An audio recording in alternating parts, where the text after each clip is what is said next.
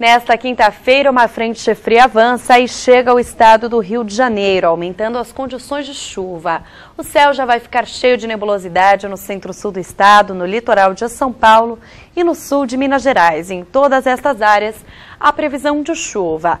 No litoral de São Paulo, só deve chover no período da manhã e depois o tempo fica firme. Já na região do Grande Rio, pode chover a qualquer momento, inclusive no período da manhã. O céu fica cheio de nebulosidade e a temperatura vai diminuir um pouco, mas ainda não há previsão para frio intenso. A temperatura deve ficar um pouco mais amena.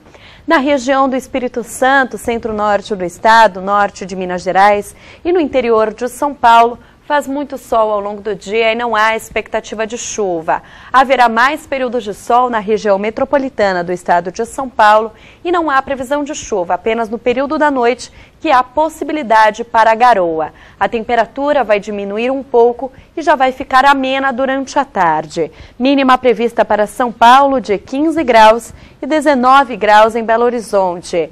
Máxima de 31 graus no Rio de Janeiro e 33 graus em Vitória.